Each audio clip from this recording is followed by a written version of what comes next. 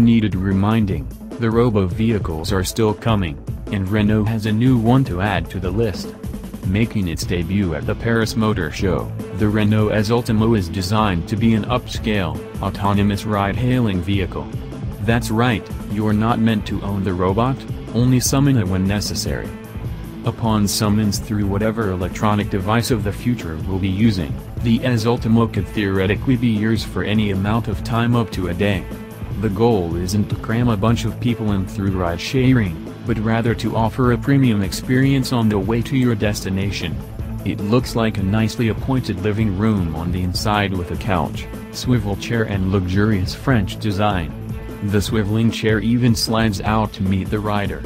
If that reminds you of GM concepts from the 1950s, you're not wrong. Some things just don't change. Renault says it even used marble on the interior, clearly, weight savings was not the goal here.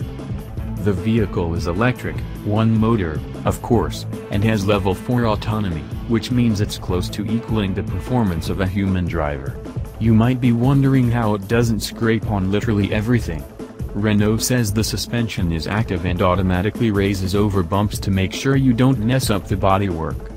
Four-wheel steering is supposed to help all 19 feet of the EZ Ultimo navigate Paris narrow streets too. This ride is supposed to be a private escape, so that explains the lack of traditional windows on the sides. However, passengers will be able to see out of the transparent roof-like structure,